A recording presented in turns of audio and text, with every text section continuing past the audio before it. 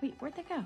You know, if I wanted to avoid surveillance because I was doing something illegal, which I never have, I would use the maintenance tunnel 6B, which would put them out right there. Well, look at you, junior detective. You know, I think you'd actually make a pretty good cop. Oh, how dare you.